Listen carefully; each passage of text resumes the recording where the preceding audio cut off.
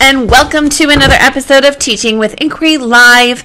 It is Monday night and it is November, so we are continuing our discussion more on assessment. So, tonight in particular, we are going to talk about the different types of assessments that you can use in your classroom. And I'm going to walk you through some of the forms and tools that I use to track student data on the fly, as well as both the formative and summative assessments that are happening in my classroom. So I'm going to walk you through some of those tools.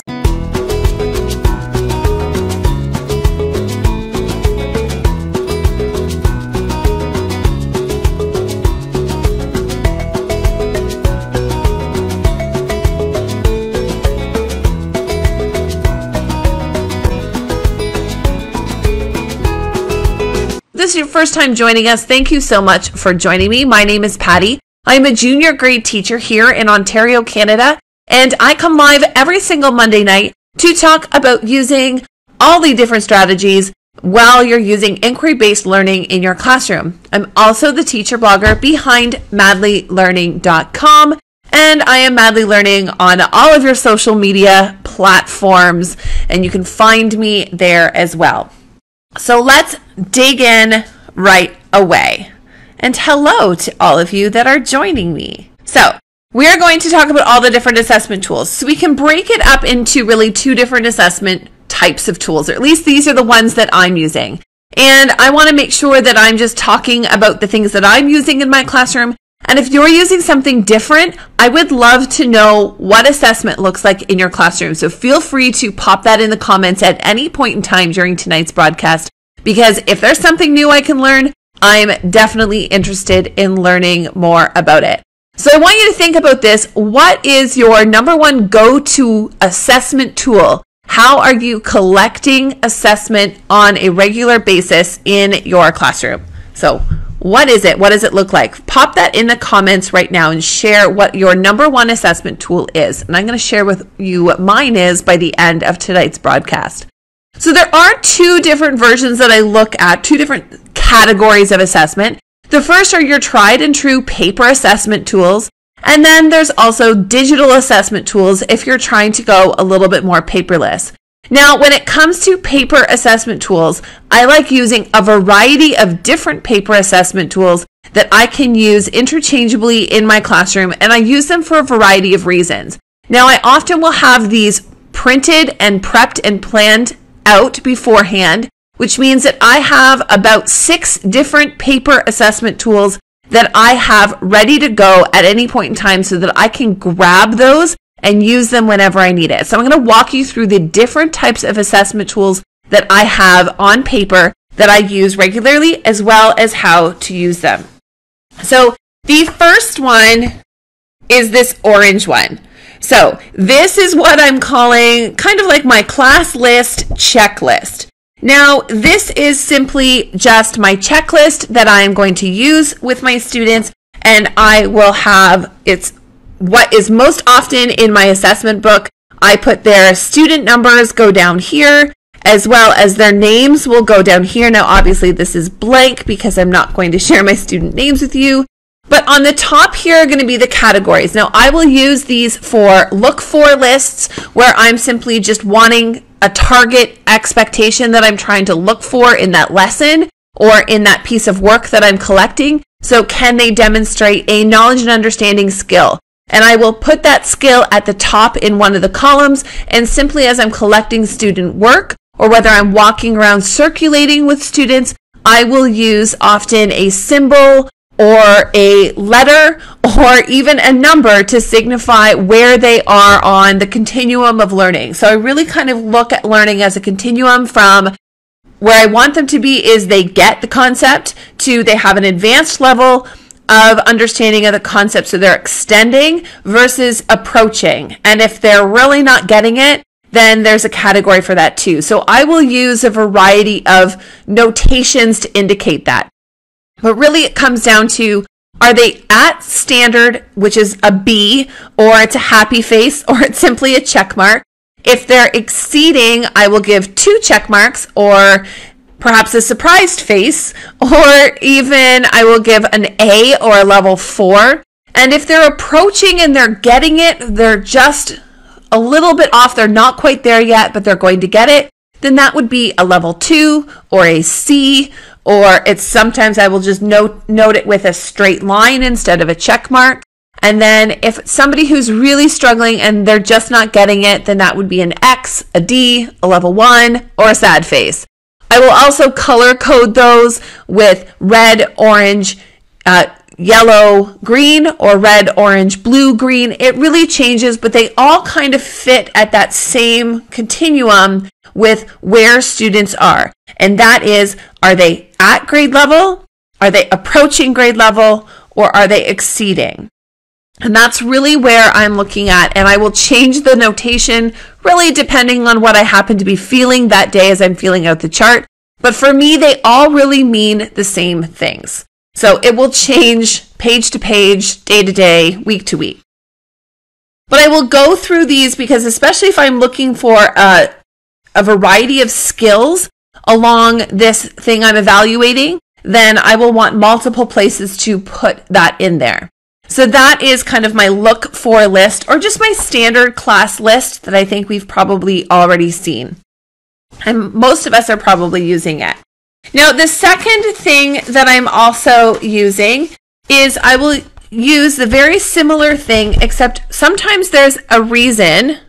There we go. Sometimes there's a reason why we would want to make notes. So again, I have my student numbers and their names will go here. And then I have some space here. Now, sometimes I will make a column with a ruler down here, but then I have room for notes. There's a lot of times where if I just have one simple box to put a code, that doesn't really give me enough information. Sometimes I want to be able to expand on that code that I wrote down and be able to explain it and kind of make notes for myself. Now, often all of these assessment pages are assessment pages that I am using and keeping for my own records they're not yet the pieces that I'm communicating with students or sharing with them the results of my assessment. These are really my assessment tools of how I'm tracking my data. There are instances where I'm working with a student on reading or even in math where I need a little bit more than simply just a code. Perhaps the student is approaching grade level because they're making multiple little errors along the way. And they just haven't solidly demonstrated that they understand it. But for that student, I might not be as worried. They might just need more time. Versus another student who is really good at one concept, but really poor at another concept. So they might both get approaching grade level because they're not yet showing mastery of all of the skills.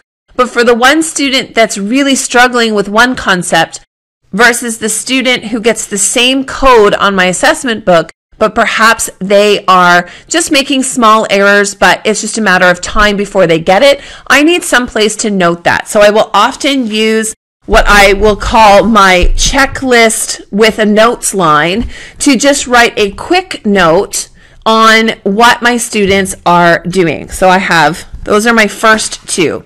So again, I have a lot of different variations of this class list that I can use. And the reason I have this is because it allows me to be a bit more flexible. Now, in the same token, sometimes I don't need a whole page to do assessment. So because of that, I will often make those checklist pages and I will do a half page. So I end up photocopying these. I cut them down in the middle. And these are just a quick, yes, they handed it in. Um, maybe they handed in a second thing, and then I'll give them their, the mark that I recorded for there. You know, these are kind of my on the fly papers because they won't fit in my plan book. So I will often take this kind of hand in checklist and then I will transpose that into my actual mark book on another type of page. But this is the one that's kind of quick and easy to just have on hand at all times for all of those times where you find you need a class list, but you don't need a whole page to do it. So I have those. So that's the first three different types of checklists and assessment lists that I have. Now, another one that I find really important is oh, this one here. Sometimes there are times where you need a larger space to be recording the information on your students. This is one where I will have, it'll be front and back. My whole class will fit on either half a page. So I'll put half my class on the front page, half the class on the back page, and I will normally have their names written up here so that each student has a box in alphabetical order. But for these, I use those pages as a great way when students are doing presentations or if I'm conferencing with students and I end up writing a whole bunch of notes. So if I'm trying to keep track of the titles that students are writing for their monthly writing assessments, or if I'm tracking um, information on, say, oral presentations or projects that I just need to kind of have a one page place where I can kind of write all of my notes that I'm not writing on 30 different pages. So if I have 30 kids in my class and I'm copying notes down on 30 separate pages, that's quite overwhelming to me unless I have that much notes that I need to be recording. So I like to have a version of my class list that gives me that more flexibility to write larger notes.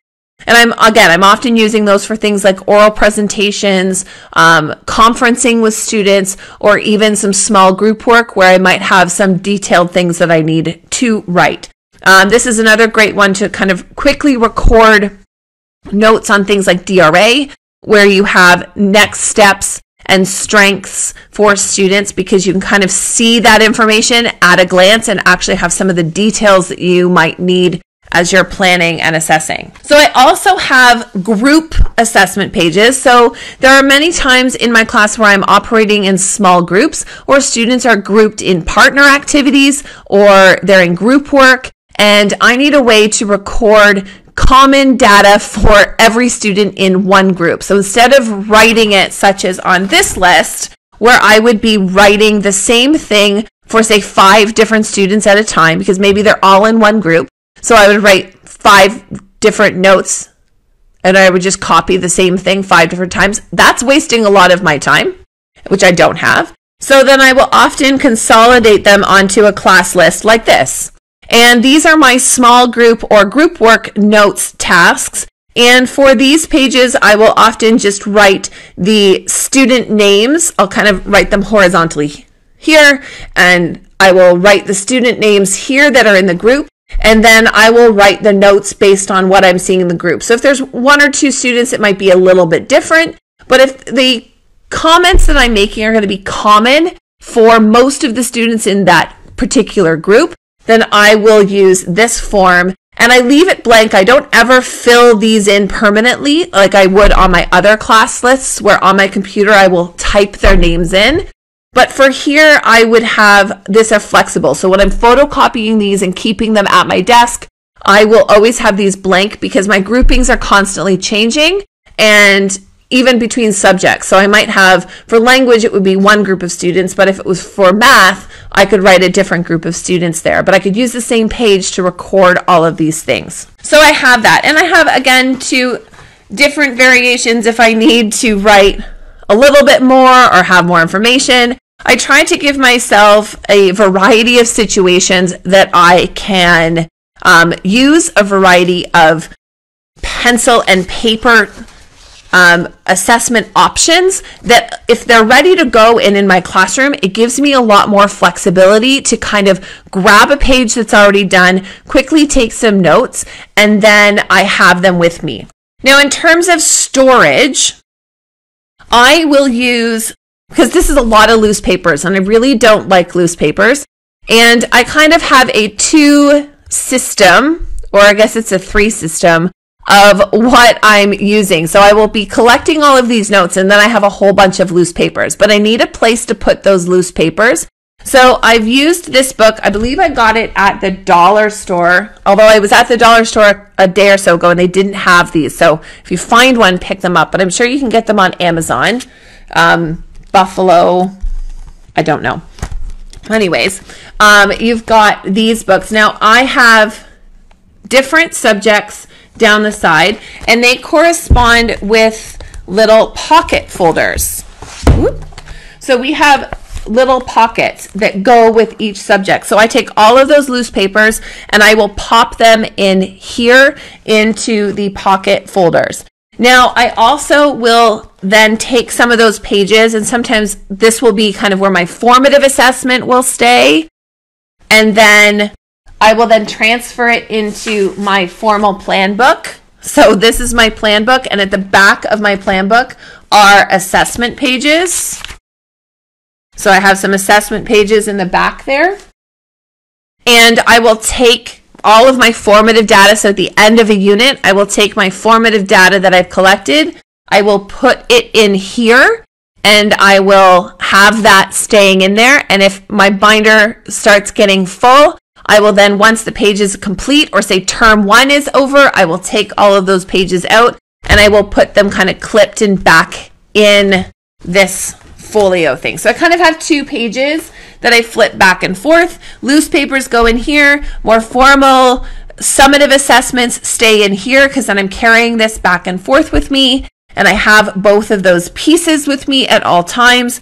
And I have different folders that I can fit in here. So I have like little folders as well where I will put different like rubrics or answer pages. I'm looking at this is my one from last year and I have rubrics and things like that all in here that I can keep and store. Now, those are my class lists. Now, the other thing that I will use too is I do use rubrics or check bricks. Now, a rubric is where you have, um, just so that we're all on the same page, I'm sure you've probably used a rubric before, but in case you haven't, a rubric is essentially a checklist of criteria that you are providing qualifiers for at the various levels of achievement. So you'll have a level one qualifier, level two qualifier, level three, level four, and four different specific expectations that you might be covering. So if you've got success criteria, then of students will write five sentences.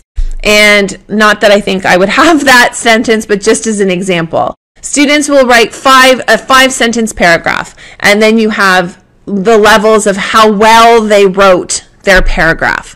And then uh, when you're assessing that, you would check off what level they were on on that rubric. Now, a check is similar in except instead of having all four levels of achievement, you would have the standard level of achievement, which would be a level three if you're here in Ontario, where the provincial standard is.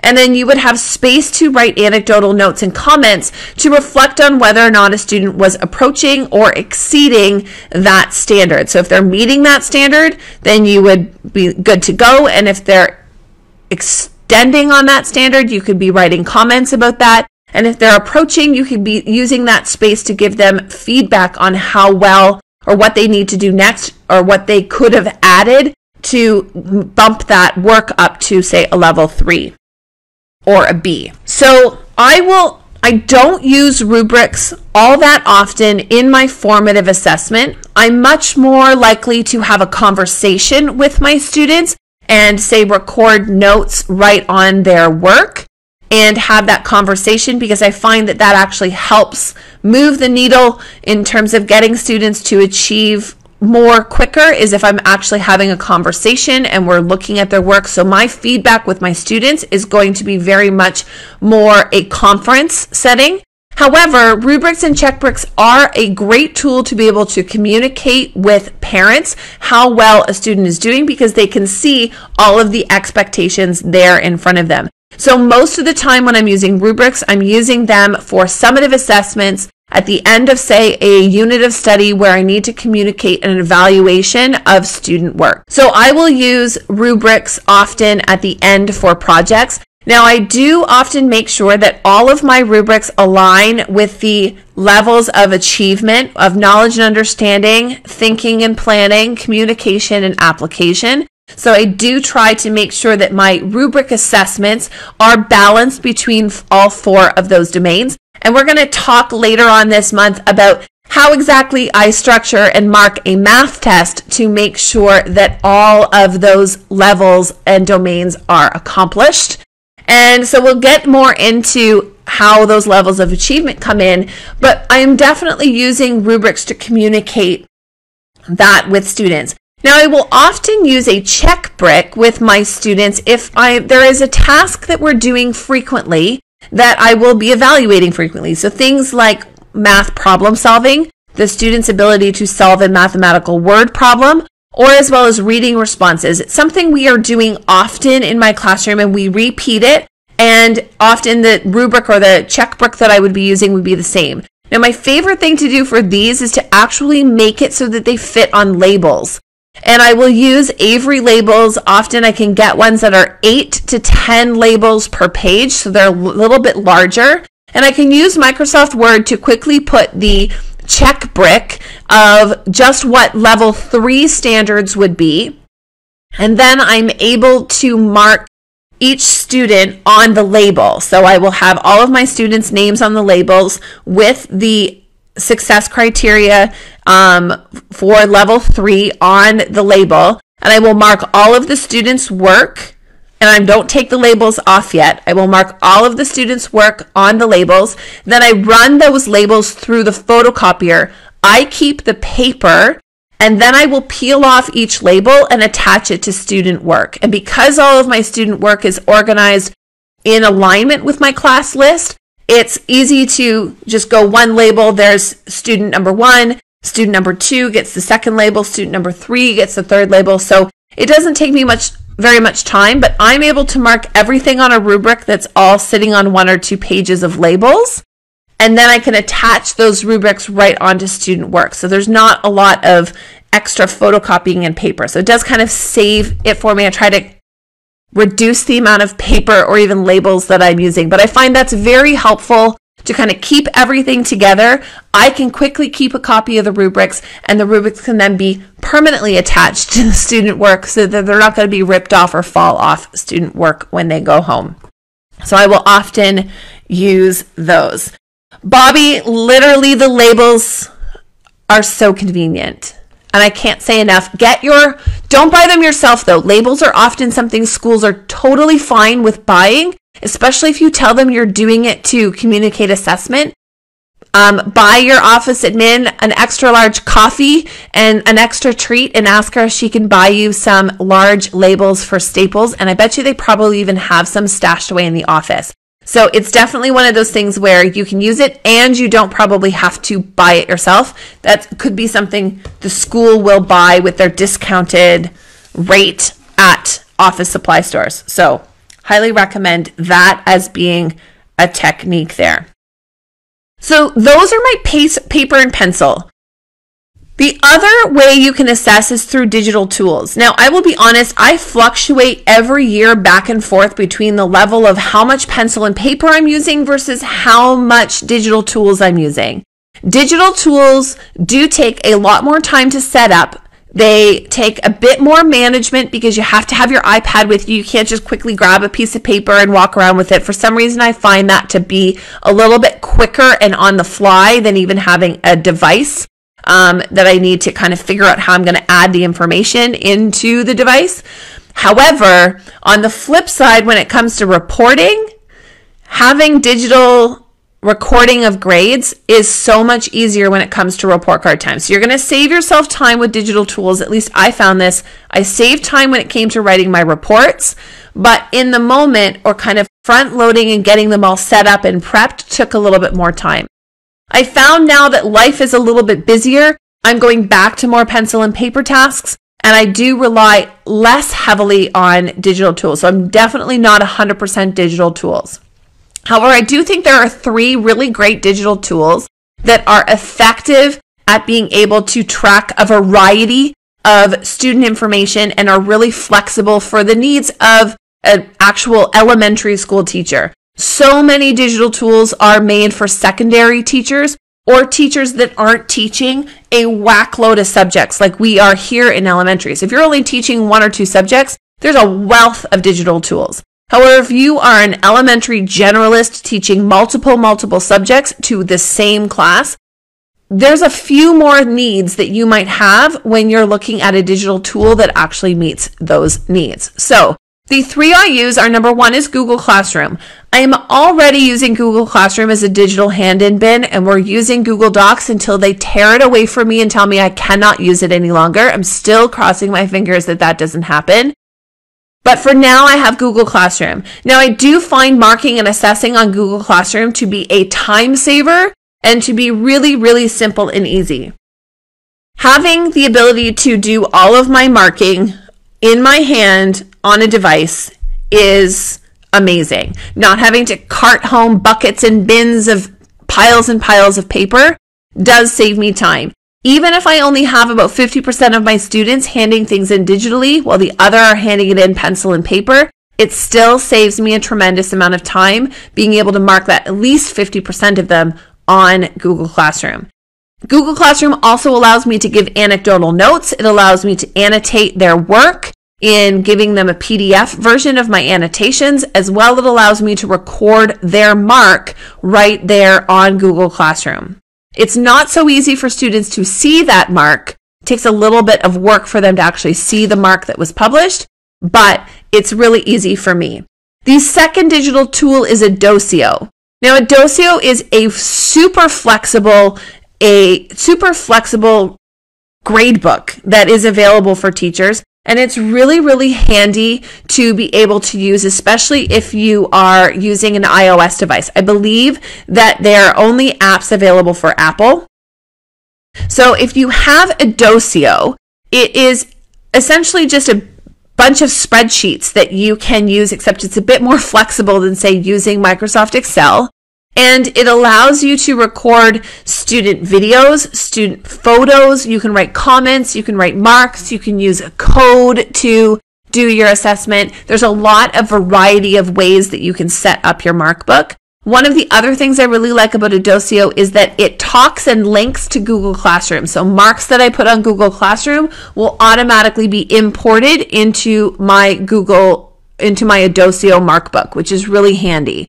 Now the downside to iDoceo is that it's on one device and one device only. Now that's a huge limitation to me. I need things to be available on my phone, on my iPad at work, on my iPad at home, on my laptop. I need it across multiple devices and the ability to save things to a cloud, which iDoceo really doesn't allow to be done. I would be all in in iDoceo and probably use that 100% if it had that ability to kind of be able to use it on multiple devices really, really easily.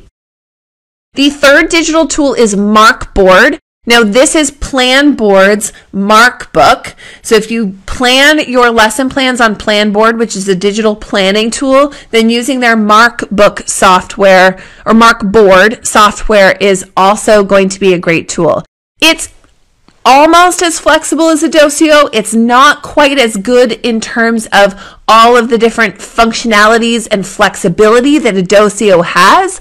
However, you trade that for the ability on Markbook, you can, or Markboard, you can use it on your laptop, your IO, any iOS device, and it syncs with the cloud because it has a web based and an app based program. So it is available on all devices that you are signed in on, which is quite helpful if you're someone like me that needs to kind of just be able to pick up the device closest to you to be able to add in information. So there are a variety of tools that you can use to collect and gather uh, iDoceo. I it's a horribly spelled word because it's hard to remember, but I will link to it in the comments. But it starts with an I, I D E O. I don't know. I will. I'll find it and I'll spell it. It's not an easy word. Um, but it's definitely in the App Store. There we go. Thanks, Kim. Yes, I believe that is it. iDoceo. And I could be pronouncing that wrong too. And I apologize to the makers of iDoceo if I'm butchering the name of your app.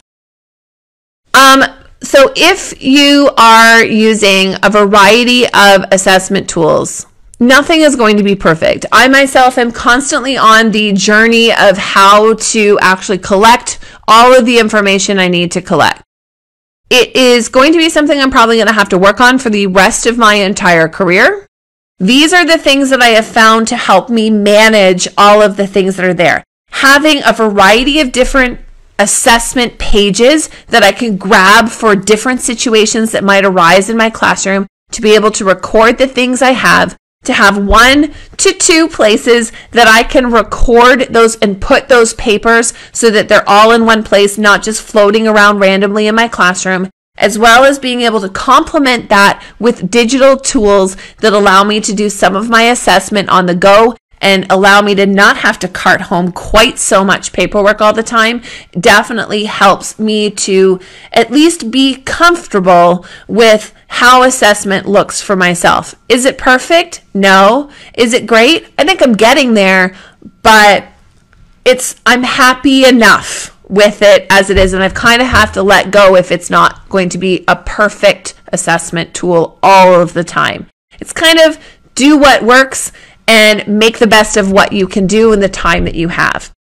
So I hope that I've given you some different ideas about how you can collect different assessment data in your classroom and what kind of tools you can use to gather that information so that you are spending less of your own time on assessment because that's really the goal is to be able to spend less time so that you have some of your own personal time back in the evenings and on your weekends and during your prep time to do something else other than marking all day and night long.